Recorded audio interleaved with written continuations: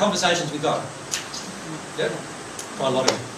And in one of the books, he's, I think he said to Neale Donald Walsch that he'd had 670 Yep. something incarnations that Neale Donald Walsch couldn't remember. Um, he can't, can it. He, he said that.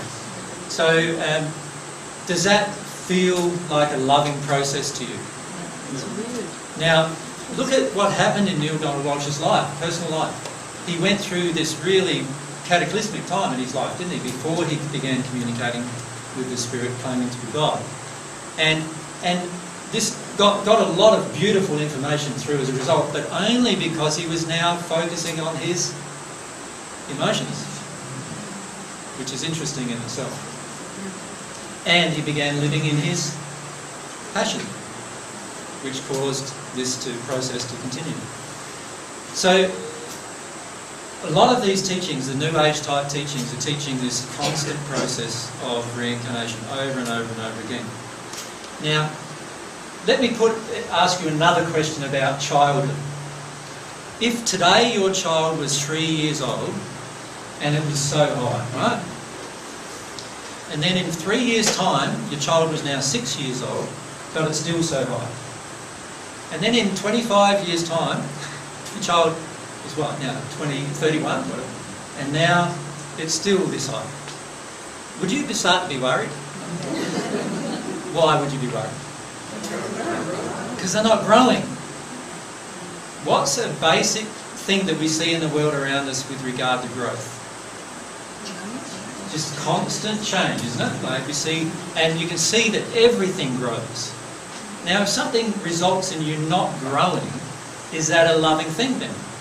Does it make any sense from even a natural perspective? It doesn't, does it?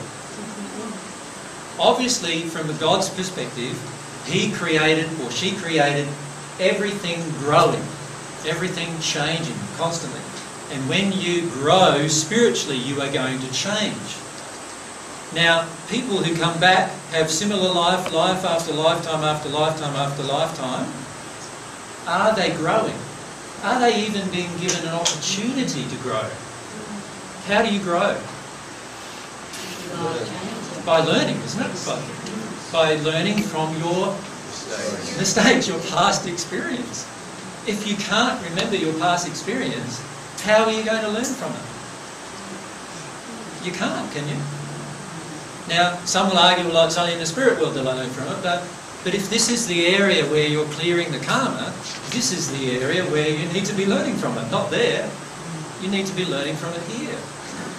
Right? So, would you set up such a system? Just from a point of view of love yourself, I mean. Now, I'm not asking you to be God. I'm just asking you to, uh, would you as a person set up this for your children? I'm sure the majority of us would.